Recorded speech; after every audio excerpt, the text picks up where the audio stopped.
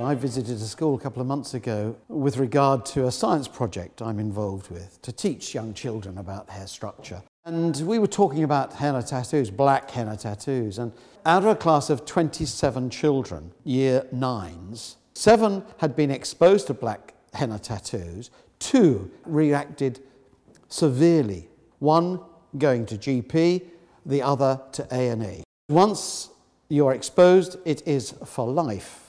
And when the client, age of nine, becomes 29 and decide they want to colour their hair, then of course uh, they will react. That's why we predictively test to make sure that we can identify those clients most at risk. It makes a difference to your profession.